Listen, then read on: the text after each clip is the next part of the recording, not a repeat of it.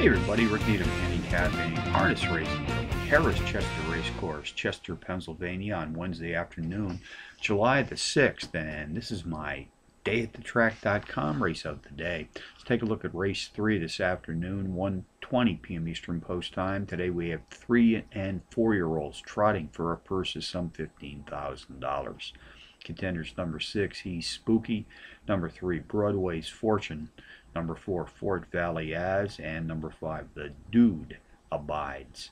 Number 6, He's Spooky is a rare Trackmaster Plus four star special play entry, which means that not only does he have the top Trackmaster Plus power rating in this field, but also has the best speed class and pace figures in this field as well.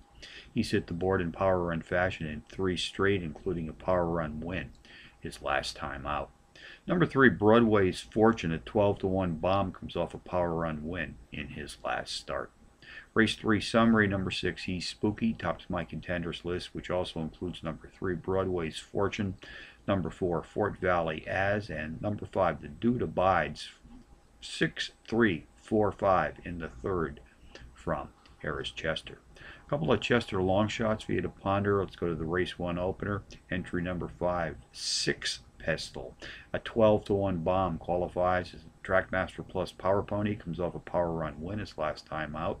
Race number 8, the 5 to 1 shot. Number 2, Vivid Photo. Trackmaster Plus Power Pony qualifier has hit the board in power run fashion in two of his last three starts.